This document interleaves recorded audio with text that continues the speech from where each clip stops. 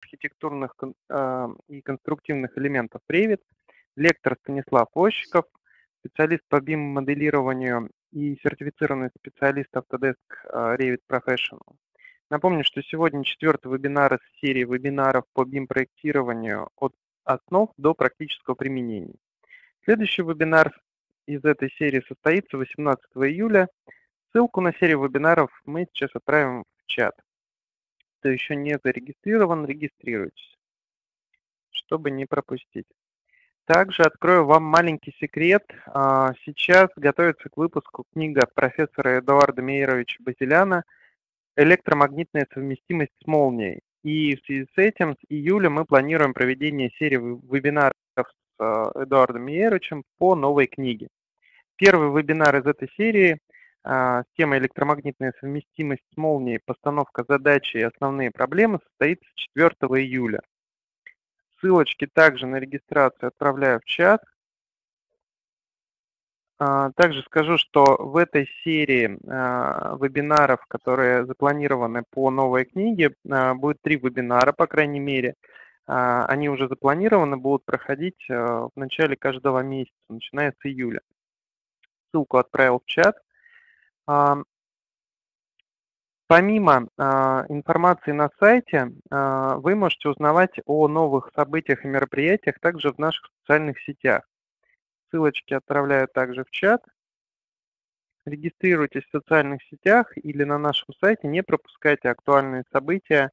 А, итак, несколько организационных моментов. Вебинар продлится 60 минут. На вопросы мы будем отвечать в ходе вебинара в чате или дополнительно в конце вебинара, если потребуется. А, вопросы прошу писать во вкладке «Вопросы». И а, сразу отвечу на частый вопрос. Запись вебинара будет. Она будет опубликована на сайте и после этого отправлена в виде ссылки на почту, а, на которую вы зарегистрировались на вебинар. Призываю вас быть активными, оставлять свои комментарии в чате и задавать свои вопросы. На этом вступительная часть завершена. Я передаю слово лектору. Станислав. Спасибо. Так, ну давайте начнем. У нас сегодня э, тема, тема тоже она такая довольно э, обобщенная. Это создание архитектурных конструктивных элементов. А, рассмотрим, рассматривать будем мы на примере небольшого объекта. А, какой у нас план, собственно? Э, у нас э, план небольшой, мы должны рассмотреть э, вертикальные элементы, как создаются. Это стены архитектурные, либо это конструктивные а, колонны. И горизонтальные, это различные полы, перекрытия. А, также рассмотрим еще некоторые элементы, такие как создание балок, колонн с капителями и так далее. А, сразу же я перейду на а, вид с Revit. А, покажу, какой у нас здесь объект. Вот небольшое общественное здание. Это пристройка к, к жилому корпусу. Жилого корпуса здесь нету. Вот. И, собственно, Здесь показано только, здесь нету инженерных систем никаких, здесь э, показана только архитектура и конструктивная часть. А, можно посмотреть это в диспетчере проекта. Здесь создано несколько видов э, архитектура, собственно, где расположено, где показано все. А, все наружные стены, все внутренние перегородки, двери, окна, витражи и так далее. И конструктивная часть, где показана только конструктивная конструктивные элементы это перекрытие, а, балки, балки, колонны и так далее. А, начнем мы изучение с стен. Это, ну, можно сказать, это самое первое, с чего начинается проект, наверное, после, после осей. А, у нас стены создаются во вкладке «Архитектура» либо во вкладке «Конструкция». А здесь есть две кнопочки «Стена». Здесь во вкладке «Архитектура», когда мы а, нажимаем, у нас создается автоматически архитектурная стена. Если мы задаем это во вкладке «Конструкция», у нас автоматически создается конструктивная стена, несущая стена. Какая разница между этими двумя стенами?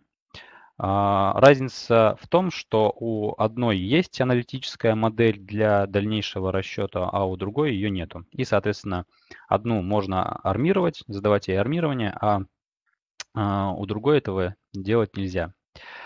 А, стены, помимо того, что они делятся на архитектурные и несущие, либо конструктивные, также делятся на подкатегории, так называемые. Особенно это относится к архитектурным стенам. А, у нас есть базовые стены, витраж и составные стены. Это три подкатегории а, стен. Базовые стены – это, собственно, самые, самые базовые стены. Они состоят из… Это многослойная конструкция, которая состоит из нескольких, одного либо нескольких слоев, Каждому слою мы назначаем определенный материал, определенную толщину и определенную функцию этого слоя. Допустим, а, функция может быть, а, этот слой может быть несущим, этот слой может быть теплоизоляционным, этот слой может быть просто изоляционным, этот слой может быть отделочным. А, Все это тоже можно задавать, это мы рассмотрим. Далее у нас есть такая подкатегория, как витраж. Витраж немножечко по-другому а, отображается. Э, здесь мы видим, что это уже такая вот э, а, система из а, вертикальных и горизонтальных элементов и заполнение такими вот панелями. Панели эти могут быть как стеклянными, так и какими-то глухими панелями. Это тоже мы разберем. И, собственно, составные стены. Составные стены у нас являются тем, что они состоят из нескольких базовых стен разделенных по горизонтали. А, здесь видим, что в данном примере у нас есть а, снизу у составной стены а, стена с отделкой из каких-то бетонных блоков, а сверху у нас стена из штукатурки. Это две разные стены, которые соединены в одну. Вернемся обратно к нашему файлу. А, собственно, давайте посмотрим, что у нас здесь есть. Вот э, если мы выберем какую-либо из стен, мы видим, так же, как и у остальных элементов, мы видим в окне свойств свойства, свойства экземпляра этой стены. Помним, что у нас из предыдущих вебинаров, что у нас а, у всех элементов есть свойства экземпляра и свойства типа. свойства экземпляра у нас определяют положение в пространстве наш а, объект, нашу стену. Это а, на каком уровне она находится, какое у него смещение снизу, какое сверху, какая ее высота. А, несущая стена это, либо не несущая. Также мы здесь видим ее габариты, это длина, площадь, объем этой стены. И различные параметры, атрибутивные, текстовые, которые можно забивать. Это позиция, допустим, стены, предел огнестойкости именно данной стены, какое-то примечание, можно прописать даже текстом, на каком этаже она находится и так далее. А, любая стена создается на основе какого-то уровня. Если нам нужно создать а, стену на первом этаже, нам нужен уровень первого этажа. А, я могу перейти на план первого этажа для удобства. Вот здесь у нас есть оформленный план уже с марками, с размерами, с осями. И давайте нарисуем вот такую стену. Нажимаем на, на стену. И первое, что видим, у нас здесь есть а, некоторые параметры сверху, которые нам нужно задать. А, первое это параметр высоты, либо глубины, куда у нас будет создаваться стена вверх относительно уровня, либо вниз. Глубина это значит, она будет создаваться вниз. А, бывает так, что когда вы задаете глубину, у вас получается так, что ваша стена, видите, не показывается. Ну, хотя здесь она почему-то показалась. Да, вот можно посмотреть, что она а, спроецировалась вниз на минус 3 метра относительно первого этажа. Она как бы за ним находится. Соответственно, если мы выбираем высоту, то она будет относительно уровня первого этажа создаваться вверх, до второго этажа. Далее мы выбираем а, уровень, до которого мы будем нашу стену тянуть. Это может быть уровень, допустим, второго этажа, либо здесь также присутствуют а, уровни плиты первого второго этажа. Также мы можем задать неприсоединенную высоту. А, какая между этим разница? Зачем присоединять, а зачем не присоединять? В каких случаях? Собственно, в тех случаях, когда у вас а, межэтажная какая-то перегородка, стена между этажами, то вам, конечно, лучше присоединять стену к выше лежащему этажу. При этом, когда вы будете изменять уровни в вашем проекте, допустим, взяли, подняли уровень, сделали высоту этажа не 3 метра, а 3300, у вас, соответственно, все эти стены, которые присоединены к вышележащему этажу, они тоже изменят свою высоту, так как у них есть зависимость с этими уровнями. А, если же у вас стоит значение неприсоединенное, то, соответственно, а, такого не произойдет. Если вы передвинете уровень, то стена останется, верх стены останется на той отметке, на которой был. А для чего это нужно? Допустим, для таких стен, как э, парапет, у которых вы задаете определенную, определенную высоту, и все, вам больше не надо ее менять. Допустим, сделали там метр двести, все, э, вам изменять его не надо э, относительно уровней. Задали метр двести, он у вас больше меняться не будет. Идем дальше. У стен есть так называемая привязка стены. Привязка стены отвечает за а, расположение стены относительно линии построения. Если вы посмотрите вот на любую стену, когда я создаю, то можно увидеть, что при изменении вот этой привязки положение стены при ее размещении меняется. Вот, допустим, сейчас у меня стоит осевая линия стены. Моя стена а, ровно по центру проходит, относительно линии построения. Если я выберу, допустим, чистая поверхность наружная, то, соответственно, уже видно, что моя стена относительно этой поверхности а, рисуется снаружи. И, соответственно, то же самое можно э, сказать для чистой поверхности внутренней. Она у меня будет рисоваться изнутри. Э, очень хорошая кнопка. Если вы начали рисовать стену, а у вас она расположена не, от, не с той стороны относительно линии построения, допустим, вам нужно вниз ее нарисовать, можно нажать просто пробел, она переключится, у вас будет рисоваться вниз. А, очень удобно. А, далее, после того, как вы настроили все эти параметры, вы можете уже а, задать статус соединения. Автоматически все стены в Revit у вас задаются с соединением. Если вы рисуете две стены рядом, вот таким образом, то автоматически у вас будет формироваться вот такой вот угол с, а, с объединением а, одинаковых слоев. Если же у вас будет отключена эта кнопка, то, соответственно, соединения никакого не произойдет. После того, как э, вы нарисовали, допустим, несколько стен. Давайте посмотрим, что дальше можно сделать.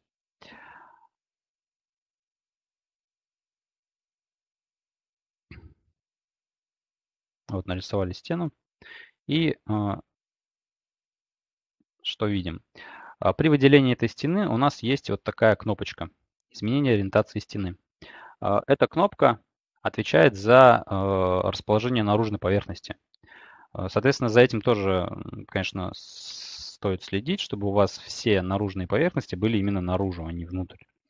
И э, при измен... для изменения вот этой вот ориентации стены вам нужно просто нажать на этот треугольничек. Тогда у вас стена изменит свое положение относительно своей оси. Либо тот же самый пробел, про который я говорил, говорил ранее. А, если вам нужно поднять либо опустить стену на какую-то определенную высоту относительно уровня, то не нужно создавать, конечно же, на этой отметке уровень. У нас есть специальные параметры. Сейчас перейду на 3D вид. Вот наша стена, которую, э, которую я создал. И, соответственно, если мне нужно опустить ее на небольшую высоту вниз, то э, мне нужно просто задать смещение снизу на какую-то высоту, допустим, минус 300 миллиметров. Она у меня опустилась. При этом зависимость э, от уровня, она осталась этаж первый. То же самое работает и положительные и отрицательные значения. И также работает и смещение сверху. Давайте теперь посмотрим на а, параметры типа этой стены, что у нас внутри, а, внутри типа. Выделим стену существующую и нажмем на кнопку «Изменить тип». Здесь у нас присутствует вот а, некоторый набор параметров. Их достаточно много. Некоторые параметры у нас являются системными, некоторые параметры у нас являются параметрами проекта, которые добавляются.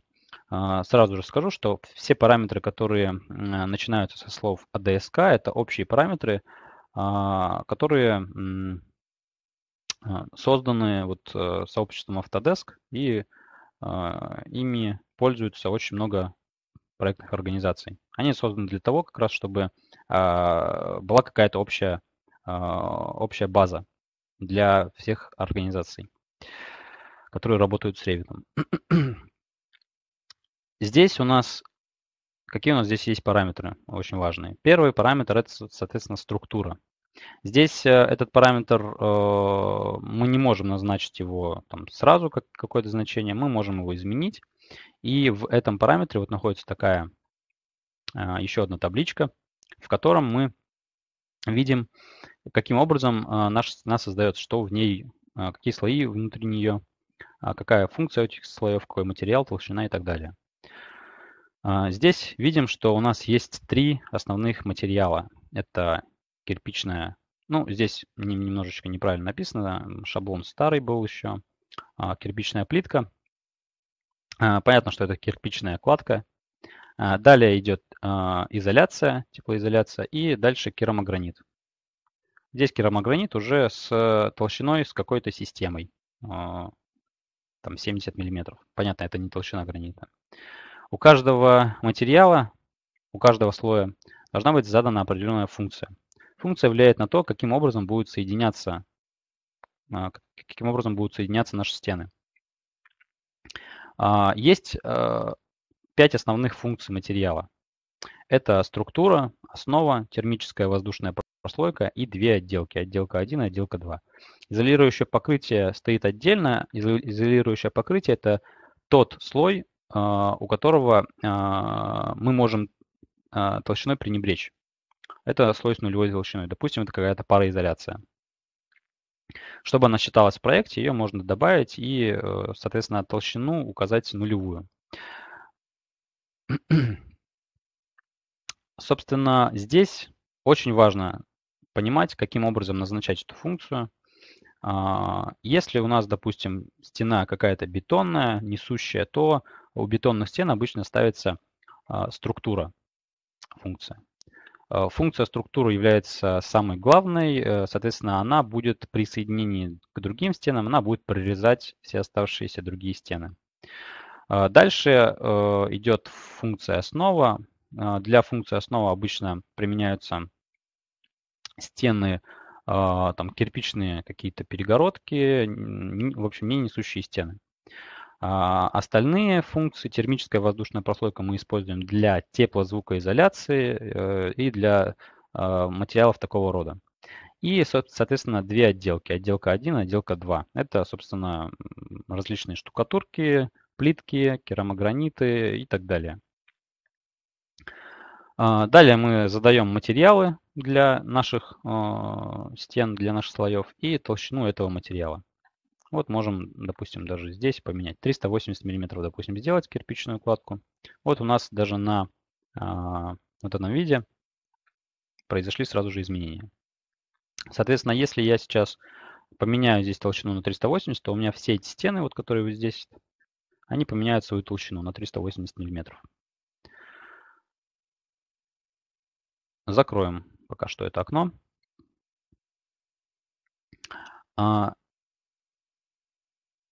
А, так. А, собственно, здесь э, вдаваться я в подробности особо э, не буду. У нас э, вебинар такой ознакомительный.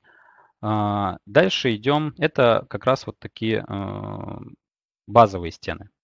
Если мы раскроем список типов, базов, типов стен, которые у нас здесь присутствуют, то мы можем увидеть, что их гораздо больше, вот, чем представлено вот здесь в проекте. У нас есть обычные кирпичные какие-то стены, есть э, стены с отделкой, есть э, перегородки и так далее. Есть вот бетонные стены. э, идем дальше. Давайте теперь посмотрим на конструктивные элементы. У нас есть вот здесь вот внизу, ниже уровня первого этажа, стены из бетона. Чем отличаются стены несущие от стен архитектурных? Как я уже сказал, у них есть а, несущая конструкция какая-то. Причем а, не нужно создавать а, отдельно какие-то категории для несущих стен. Любую стену можно создать несущей. Что для этого требуется? Вот, допустим, я могу выделить любую абсолютно стену, вот какая-то фасадная стена, обычная кирпичная с отделкой. И в ее свойствах здесь есть кнопка «Несущие конструкции». Как только я эту галочку нажимаю, все, у меня появляется здесь а, дополнительные параметры. Это включение аналитической модели и армирование. Я могу эту теперь стену заармировать, а, выкинуть ее в расчет а, куда-то в другую программу, чтобы проанализировать и так далее. Здесь как раз видим то же самое. Я выделяю эту бетонную стену, видим, что у нее есть вот такие а, параметры. А, помимо этого, у нас также есть параметр материала несущей конструкции. А, в этой же вкладке, в параметрах типа, там, где мы назначаем материалы, если у нас стоит галочка материал несущих конструкций, то, соответственно, вот этот материал, бетон, будет включен в расчет при, там, при расчете в какой-то программе для конструкторов. А, и будут использоваться те характеристики материала, которые представлены вот э, в этом материале. В этот материал можно зайти, и у него есть определенные физические параметры. Вот они здесь представлены. Это тоже все можно менять. Соответственно, все вот эти параметры, они э, перейдут в расчетную программу и будут использоваться там.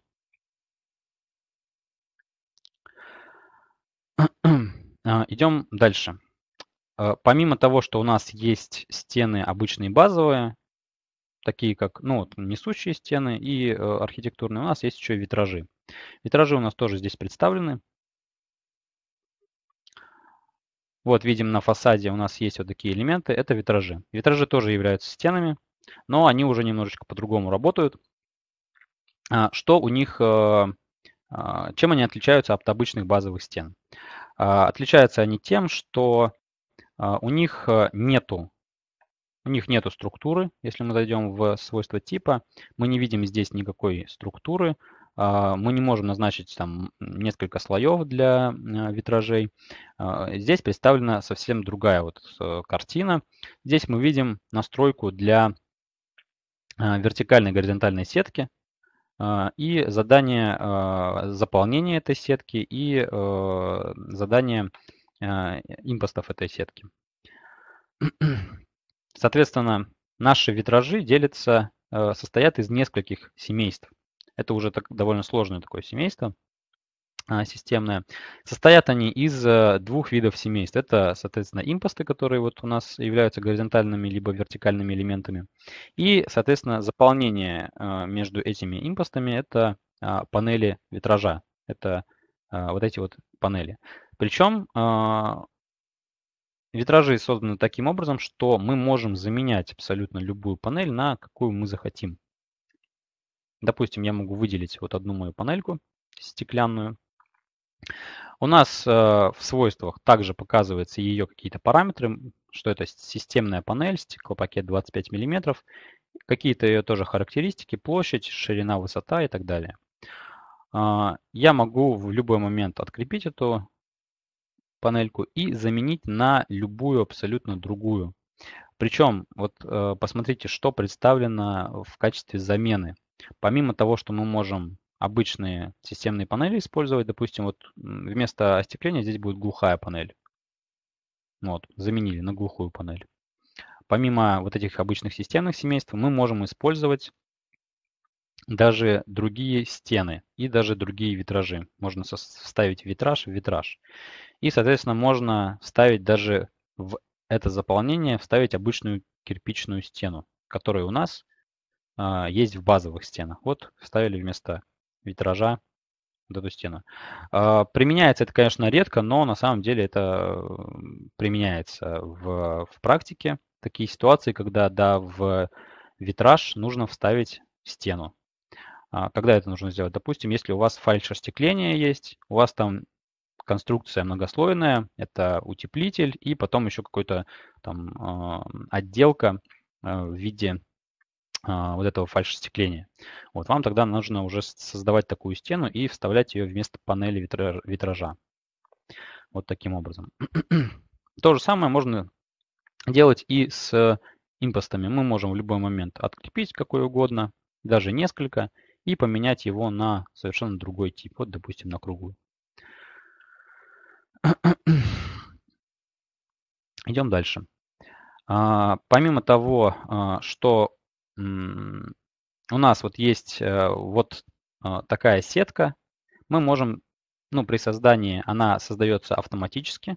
Если я вот нарисую вот здесь рядышком такой же витраж, то, видите, сетка создается автоматически. А, помимо того, что сетку можно создавать автоматически, ее можно создавать вручную. Если я рядышком нарисую витраж без сетки, я могу задавать его как я захочу при помощи инструментов схема разрезки стены.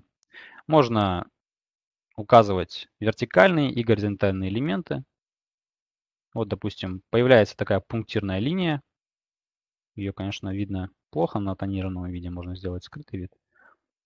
Вот она появляется и э, указывает расстояние, на котором я буду размещать этот элемент. Вот здесь два временных размера, 1,1 метр и 6,2 метра. И я могу любую абсолютно сетку создать, которая мне нужна с любым шагом. Если здесь шаг у меня одинаковый, равный, то вот здесь я могу задать какую угодно. При этом хоть вертикально, хоть горизонтально. Есть еще очень хорошая функция у э, витражей. Это задание в панели витража двери. Если я выделю, опять же, вот эту системную панель, помимо того, что я могу э, кирпичную стену сюда внедрить, я могу еще туда внедрить э, дверь. Двери тоже присутствуют у нас в перечне элементов, которые можно а, вставлять в вот эту вот панель витража. И в самом верху у нас вот здесь вот есть такие а, навесные двери остекленные. Вот, допустим, двупольную можно задать, либо однопольную, левую, либо правую. Выбираем, вот у меня дверь вставилась. При этом э, на, так, на плане, сейчас я а, перейду на план этажа. При этом на плане эта дверь у меня показывается как дверь. Вот прям ее можно замаркировать, у нее есть все параметры, а, которые присутствуют у обычной двери. Если я сравню с вот этой дверью, то все эти параметры есть. Группирование, зона, количество, позиция, все эти параметры присутствуют здесь. Их тоже можно пробивать, и она также будет а, заноситься в ведомости. Идем дальше. И последний тип стен, которые э, осталось рассмотреть, это составные стены. На самом деле составные стены применяются редко. Э, они не особо удобные, но это, конечно, так, э, можно сказать, моя точка зрения. Э, может быть, кто-то их ис- использует. Э, но э, я вот в своей практике их э, использую очень-очень редко, даже, можно сказать, никогда. В послед... последняя вот эта вот подкатегория, вот составная стена, видите, здесь один всего лишь экземпляр представлен. И э, кирпич по бетонному блоку называется. Если я вот э, размещу, давайте посмотрим, что это будет. Вот видно, что эта стена по вертикали, точнее по горизонтали делится на две стены. Внизу у нас бетонные блоки, сверху у нас кирпичная кладка. Все те же параметры, которые у нас есть в базовой стены, они присутствуют вот здесь а, и у составной стены. Но а, если мы зайдем в свойства типа, у нас здесь, видите, нету совершенно никаких параметров. Почему нету параметров? Потому что эта стена состоит из двух стен базовых. И, соответственно, если я хочу изменить эту стену, мне нужно изменить базовые стены. А в структуре я могу задать а, количество вот этих вот а, стен, которые у меня будут использоваться в этой стене. Допустим, вставить еще одну сверху. И, э, допустим, задать у нее высоту. Давайте посмотрим. Высота будет метр в начале. Это будет переменная. И задам у нее, вот, допустим, кирпич Давайте газобетон 100 мм. Нажимаем ОК. Вот у меня появилась еще сверху вот такая стена 100 мм. И, соответственно, уже три стены совместно создаются.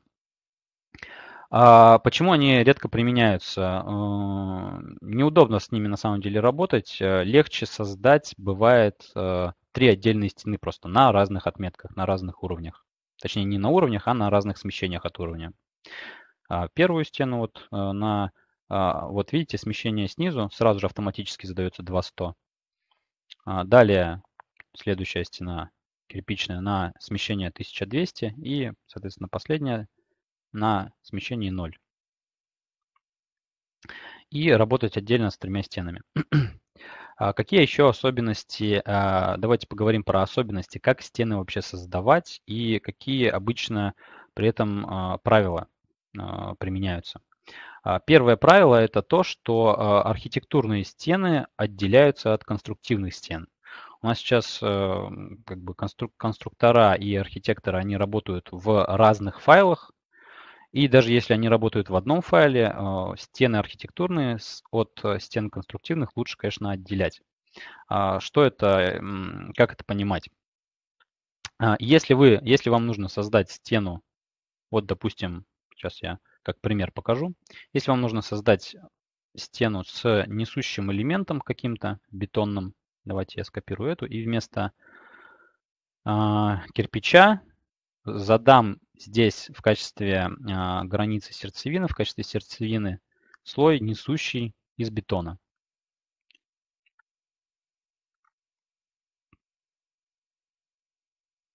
Вот он бетон.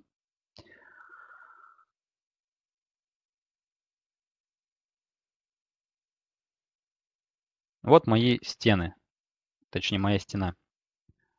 Вот так вот представлена. У нее есть э, несущий слой, который будет э, потом передаваться, допустим, в какой-то расчет, который используют э, конструктора. И есть архитектурная стена, это вот как раз теплоизоляция и какая-то отделка. Вот, соответственно, когда работают два э, специалиста, конструктор, архитектор, эти стены э, необходимо разделять. А, отдельно создавать конструктивный элемент, отдельно создавать э, архитектурный элемент. Делается это вот просто. Мы создаем вначале бетонную стену, вот такую. А дальше мы создаем ту же самую стену, только без, я еще раз скопирую, только без э, вот этого несущего элемента. Я просто оставляю, я его удаляю и оставляю только теплоизоляцию и керамогранит. И создаю по уже получается внутренней поверхности вот так. Создаю ее вот таким образом. Вот как это делается. Соответственно, у вас отдельно конструктор работает со своей стеной, а архитектор работает вот со своей отделкой. А, в сумме все равно получается та же самая стена. А, есть, конечно, некоторые нюансы, когда вы а, будете, допустим, размещать, когда архитектор размещает проемы какие-то дверные либо оконные, в многослойных конструкциях они, конечно же, прорезают всю стену, но здесь, если я поставлю эту, эту дверь, то у меня будет прорезать только один слой. Но это, конечно, тоже решение есть этой ситуации. Если мы объединим две эти стены при помощи, вот во вкладке «Изменить» есть такая кнопка «Соединить стены», то мы, собственно, а, решим эту проблему. Вот у меня вставленная в конструктив дверь теперь вырезает не только э, сам конструктив, но уже и вот эту а, архитектурную стену. То же самое работает и с отделкой. Если нужно задать внутреннюю отделку, то, соответственно, это создается отдельно стены с отделкой. Штукатурка, там 20 мм, такая тоненькая стена, она будет присутствовать. А, так, идем дальше. а, здесь, э, помимо того, что у нас есть стены, у нас есть еще и колонны. А, колонны у нас являются уже не системными семействами, а, как, допустим, стена, а уже загружаемыми. Чтобы нам загрузить какую-то какую колонну, какое-то семейство колонн, нам нужно выбрать файл этой колонны и подгрузить его в модель. А, здесь у нас представлено два семейства. Это колонна с капителью и колонна без капители. Сейчас покажу, где она представлена. Вот, вот колонна без капители. А, какие а, особенности у колонн? Колонны являются тоже э, элементами, у которых есть, э, которые привязываются к уровню, к определенному. Также у них есть смещение снизу, смещение э, сверху, абсолютно так же, как и у стен. У них есть а, аналитическая модель, и они могут тоже включаться в, дальше в расчет. Их также можно армировать и задавать им абсолютно любой перечень параметров, который необходим. Вот, допустим, ширина, глубина капителя. Здесь есть тоже одна особенность. А, давайте посмотрим вот на а, аналитическую модель. У нас есть у каждого элемента аналитическая модель, соответственно, у колонны это а, как бы вертикальная линия. Здесь у нас представлена в 3D-видах аналитическая модель, и мы можем посмотреть, что, вот, допустим, колонна наша.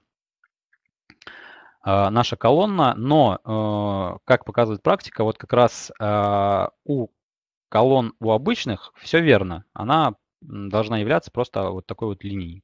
Но у колонн с капителью здесь э, должно быть немножечко по-другому.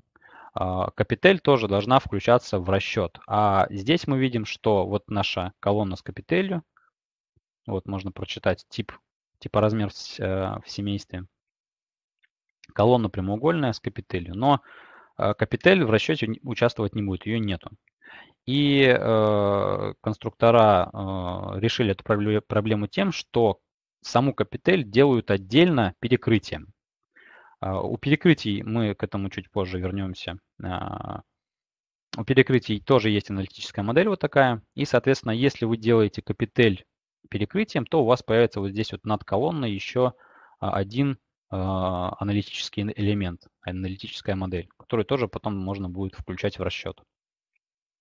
А, вот таким образом это решено. А, помимо колонн у нас также есть еще присутствуют перекрытия и балки в качестве несущих элементов.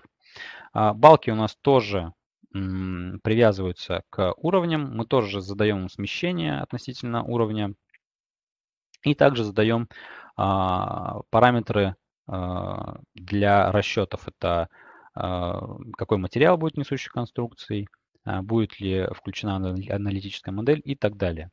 Аналитическую модель тоже можно вот здесь вот посмотреть. Вот наши аналитические модели наших балок. Вот они оранжевым подсвечиваются. Соответственно, здесь все параметры, которые необходимы для э, задания расчета, они есть. А сам Revit, конечно же, а, не рассчитывает ничего. А, в Revit можно собирать нагрузки, но в дальнейшем при расчете нужно использовать другие какие-то программные комплексы.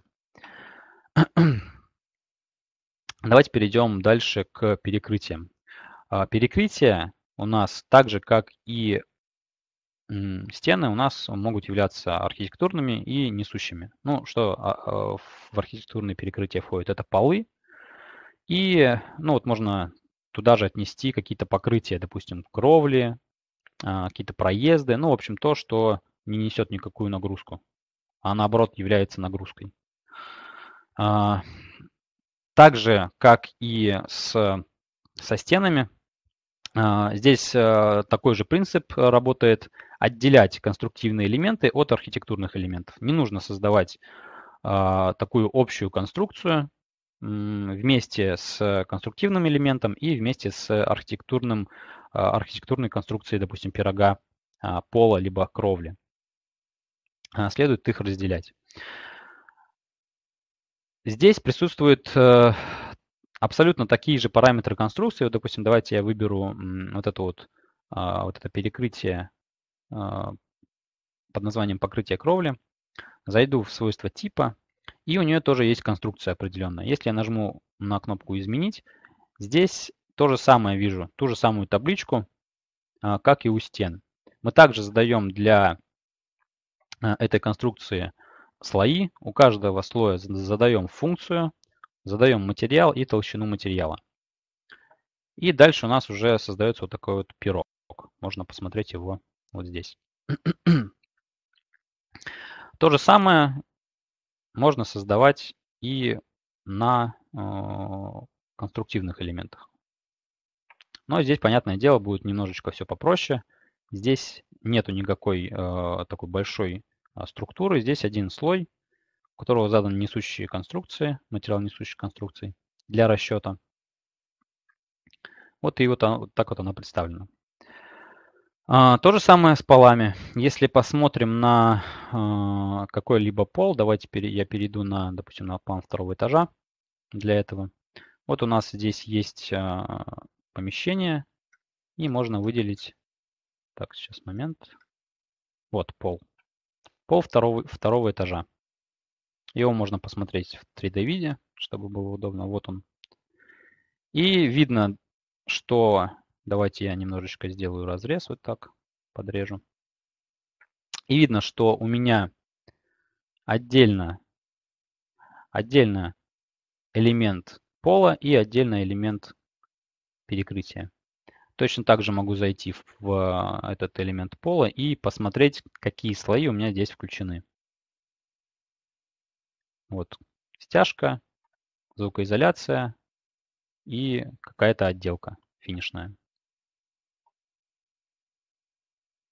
Каким образом создаются перекрытия?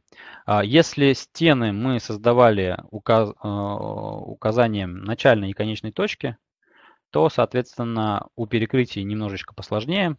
А, для создания перекрытия нам нужно указать, нам нужно указать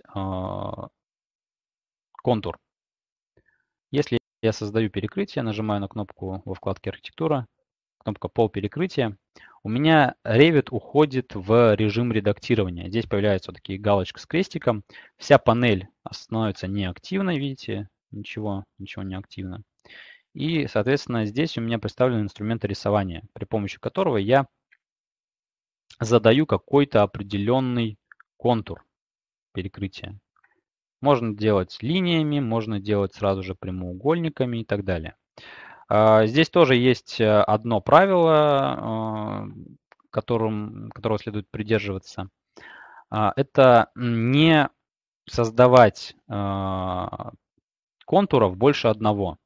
Вот, соответственно, а, сейчас я включу отображение всей геометрии.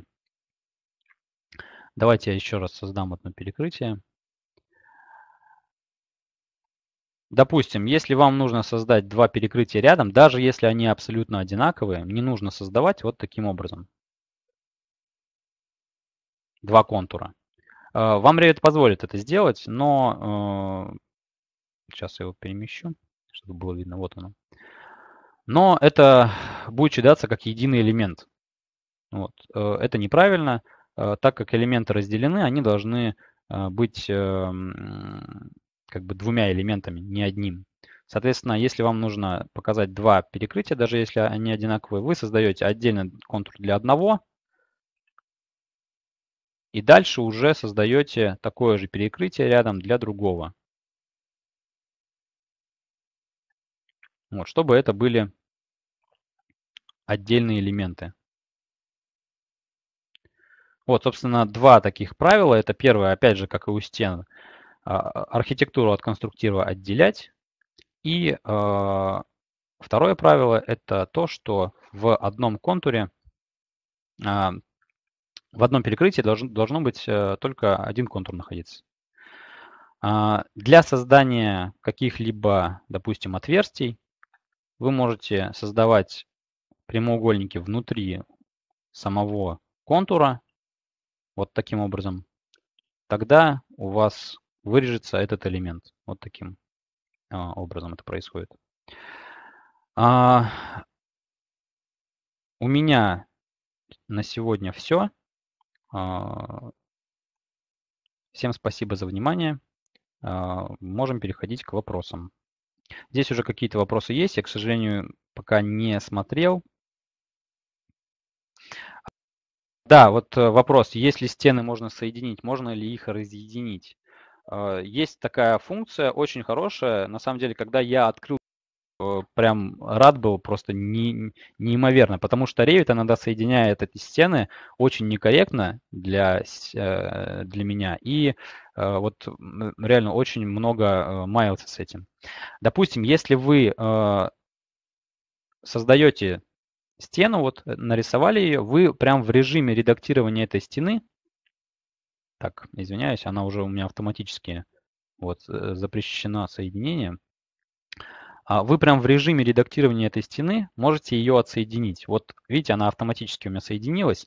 Если я нажимаю правой кнопкой мышки вот на вот этот маленький синий э, кружочек, на эту синюю точку, то в ней, вот в этом раскрывающемся списке, есть кнопка «Отменить соединение». Вот нажимаете на нее, и у вас с этой стороны, именно вот с этой, не с обеих сторон, а только с этой стороны, произошло отсоединение стены. И я тогда уже могу разместить ее куда мне нужно.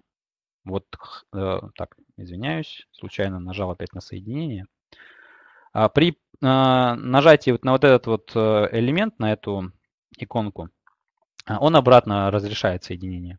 Я могу хоть вот так вот даже присоединить ее. Вот как мне удобно, так я и присоединю. Если я обратно нажимаю на соединение, он, видите, у меня опять подрезает. Поэтому очень удобно вот этот вот э, инструмент использовать, э, вот эту кнопку, а, в тех моментах, где нам соединение не нужно. А, дальше идем. Стена единая и соединенная по-разному прорезались. Да, смотрите, вот э, если посмотреть на а, вот эти вот две стены, здесь у меня вот эта дверь вставлена в конструктивный элемент, вот в эту стену. А дверь всегда вставляется по, по, по поверхности этой стены. Если бы я ее вставил в а, стену а, с отделкой, то у меня картина была бы одинаковая абсолютно. Вот видите, что здесь, что здесь. Идем дальше учились Revit. Иногда, знаете, я для себя новые какие-то моменты открываю, вот э, особенно в новых э, версиях, э, что-то они добавляют, но так, на самом деле, думаю, пару лет ну, хватило, чтобы освоить примерно программу. Слышно меня? Да, Анатолий, слышно. Вопрос есть, отлично, сейчас будем отвечать. У меня просьба зачитывать полностью вопрос перед тем, как отвечать, чтобы запись у нас это все mm сохранилось. Так, еще вопросы. Еще вопросы.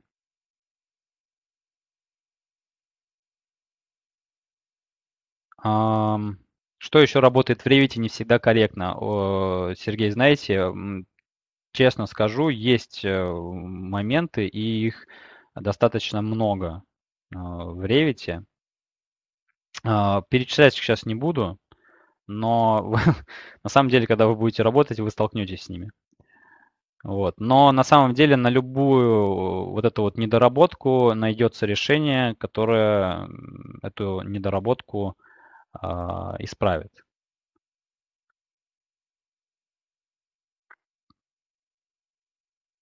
Так, еще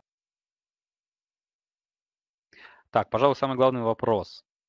Поддерживает ли Revit наши формы оформления чертежей согласно действующим ГОСТ или только буржуйские? А, Хороший вопрос, конечно. Да, поддерживает. У нас э, специально созданы шаблоны, э, в которых это оформление присутствует. Вот, это и шрифты, и все, э, все элементы, которые нужны, и все аннотационные обозначения, которые у нас присутствуют при оформлении, они все там соблюдены по ГОСТу. Э, некоторые моменты, да, некоторые моменты э, такие специфические э, реализовать сложно, но можно сказать так вот, при помощи костылей, так называемых, это тоже можно решить. Допустим, вопрос, вот э, я как пример приведу, спецификации в Revit. А, если посмотреть на спецификации в Revit, то вот я сейчас открою на листе, допустим, какую-то спецификацию, то видим, что а, здесь высота нашего, а, нашей строчки 5 миллиметров примерно 5 миллиметров, а у нас по ГОСТу 8 миллиметров. Ну, на самом деле, э, вот я пока что не встречал э, таких экспертов, которые там, или нормоконтроль, которые вот это вот прям на корню зарубают, что нельзя так.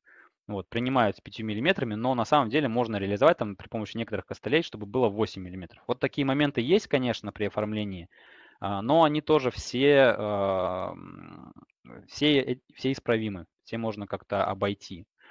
И, и на самом деле здесь Uh, можно сказать так с уверенностью, что да, разделы AR, KR, вообще, в принципе, все разделы можно выпускать из Revit абсолютно. Что, в принципе, многие сейчас организации делают.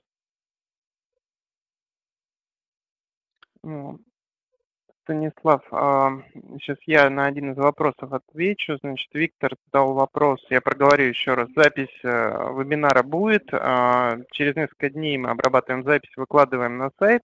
И после этого делаем а, рассылку на электронные адреса, по которым зарегистрированы на вебинар. То есть запись будет. Дальше Виктор уточнял, я так понимаю, вопрос о том, сколько времени необходимо на то, чтобы освоить Revit.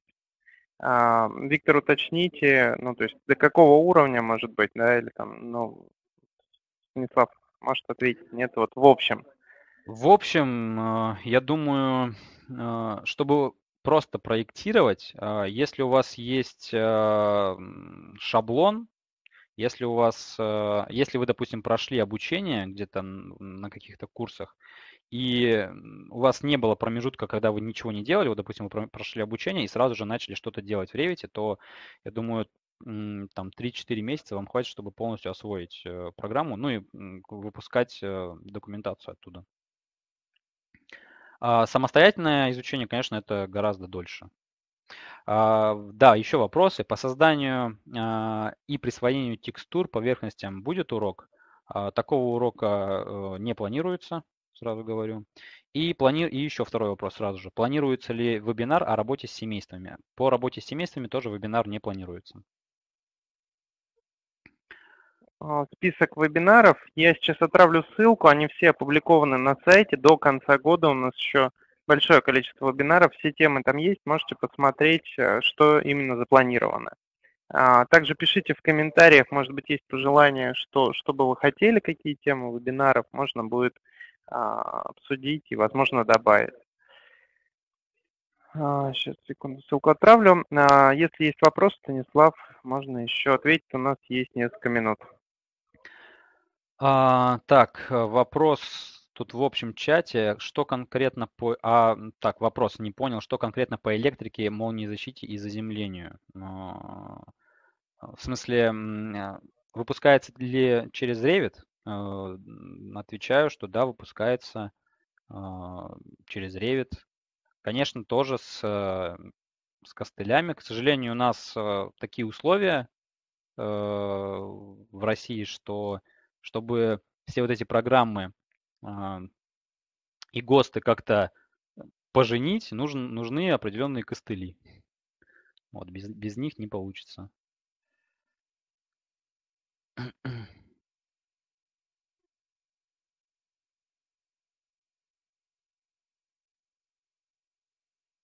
Так, ну я думаю, э, вопросы, вопросы, вопросов больше нету.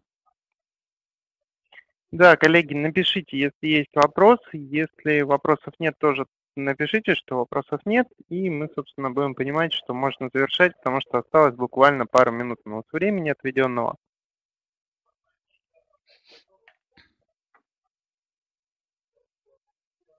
А, нет, Валерий, по армированию вебинара не будет. А, у нас а, вот эти вебинары а, ознакомительные. Дальше у нас будут вебинары уже по оформлению и, по э, работе с ведомостями. По армированию такого не предусмотрено.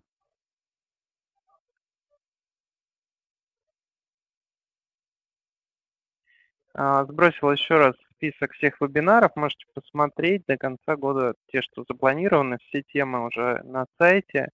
А, собственно, это весь список, то, что будет до конца года. Возможно, добавится еще несколько вебинаров с Эдуардом Еровичем, а, но это чуть позже мы уже поймем. В конце года они будут. Коллеги, спасибо вам за участие. А, Станислав, спасибо за доклад и ответ на вопросы. Будем завершать наше мероприятие.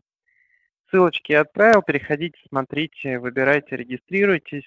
И до скорых встреч на следующих вебинарах. Напомню, следующий вебинар у нас 4 э, июля с э, профессором Базиляном. Будем ждать вас. До свидания. Все, спасибо. Да, до свидания.